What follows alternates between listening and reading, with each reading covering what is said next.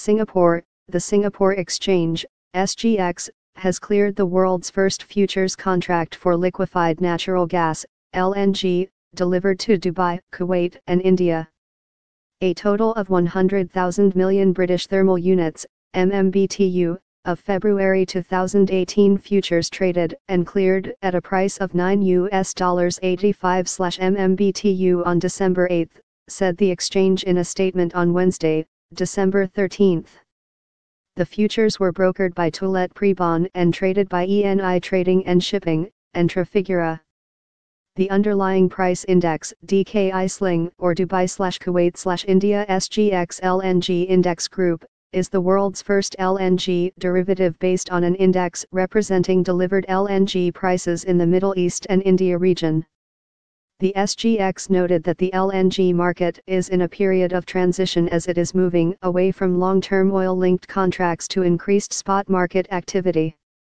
The DKI sling aims to provide a transparent benchmark, and the developing liquidity in the futures market is important to ensuring that risk management tools are available to hedge exposures in this region, it said. The DKI region has seen growing LNG demand as well as growing volumes of spot trades. India imported its first cargo of LNG in 2004, and is forecast to import 20 million tons in 2017.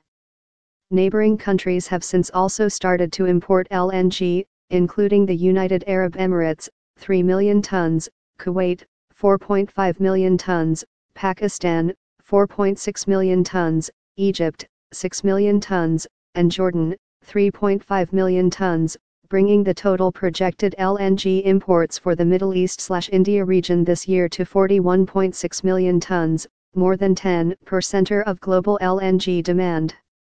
Melissa Lindsay, global head of LNG at Tullett Prebon, which developed the DKI Sling Index in collaboration with the SGX, noted that the bourse's experience, efforts and reputation, as well as its role as a benchmark administrator, has accelerated the process of creating a trusted price index, making it possible for the first DKI trade to take place within a year since the launch. Singapore has also helped build a home for the LNG trading community in Asia, increasing appetite and need to trade